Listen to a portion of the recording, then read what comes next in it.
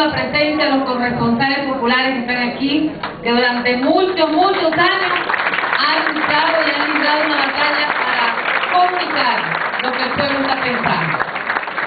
Saludamos a todos los compañeros de las emisoras comunitarias, de los medios comunitarios,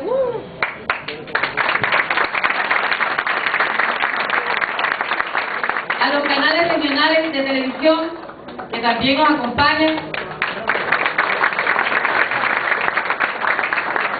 y por sobre todas las cosas saludamos la presencia de todos nosotros.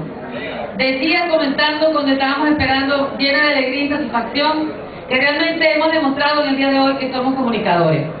Porque en verdad la convocatoria la hemos hecho casi que en cadena, ¿verdad que sí? Y estamos aquí presentes, Tania. Te agradecemos tu esfuerzo por estar aquí en el estado suyo. Bien. Voy a compartir muy brevemente dos ideas que han venido como rodando, ¿verdad?, en la mente colectiva.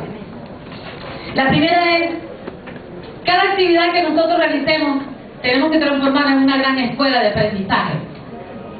No podemos seguir haciendo actividades que implican tiempo, dedicación, esfuerzo material, esfuerzo espiritual y no obtener resultados para avanzar hacia el socialismo. Cada encuentro nuestro tiene que ser un punto de partida para algo mejor. Las críticas sin propuestas se las dejamos a la oposición. Nuestras críticas tienen que ser con propuestas para cambiar lo que creemos que no está avanzando correctamente. Esa debe ser la actitud de un revolucionario en esta coyuntura histórica que estamos viviendo. Muchas cosas nos diferencian.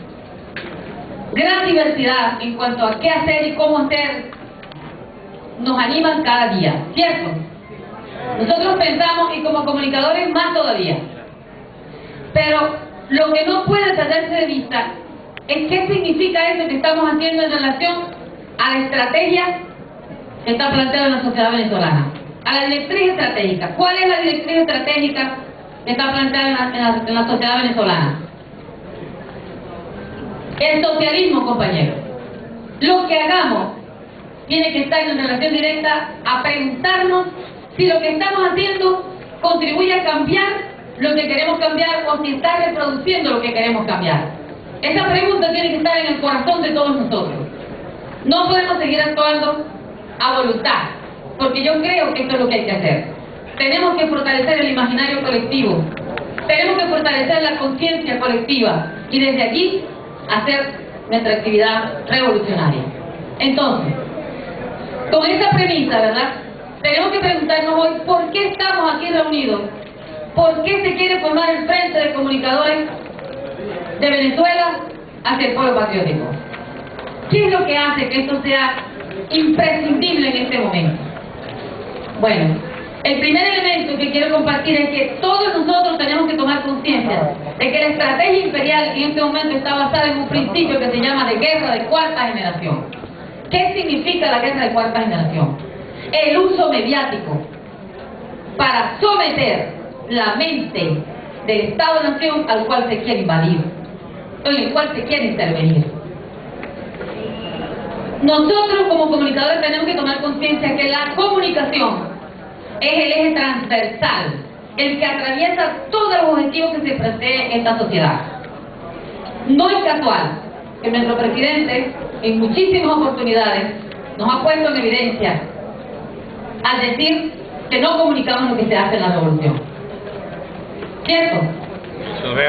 Muchas veces nos ha cuestionado de cómo es que casi son clandestinas las cosas maravillosas que muchos grupos de venezolanos están construyendo para este país. De manera que al externo y al interno es urgente. Fíjense ustedes cuántas personas estamos aquí. Y no están todos los que son. El gran dispositivo mediático con que cuenta la revolución es grandísimo. Y el pueblo ya demostró que ese poder mediático que tiene base material, porque controla una gran cantidad de medios, a nivel nacional y a nivel mundial, no es lo que decide un conflicto social entre nosotros. El 11, el 12 y el 13 de abril el pueblo demostró que los medios tienen un poder limitado. ¿Limitado a qué? A la conciencia del pueblo. Experiencias tenemos de sobra, compañeros. La guerra de Vietnam es un paradigma que nosotros no podemos dejar nunca de lado. Y si no sabemos sobre ella, tenemos que investigar. Allí se demostró claramente que cuando un pueblo se decide ser libre, no hay tecnología ni medios que puedan pasar por encima de esa voluntad política. Entonces, el frente de comunicadores no es un frente para buscar beneficios materiales. No es un frente para estar más cerca de los que toman decisiones para que me den una emisora. No es un frente para llamar a los resentidos, a los que no les prestan atención en otras instancias del gobierno y vienen al frente de comunicadores para que los consuelen y los atiendan. Es un frente de compromiso político estratégico. Y leo, para no estar inventando, lo que el presidente Chávez hasta ahora, porque se está preparando un material, les informo, se está preparando un material para este, darle este, consistencia histórica, por decirlo de alguna manera, y, y proyección al pueblo patriótico. Porque esto no se inventa.